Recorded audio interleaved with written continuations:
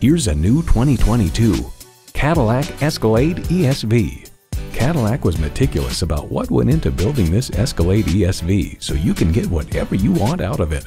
A great vehicle is comprised of great features like these.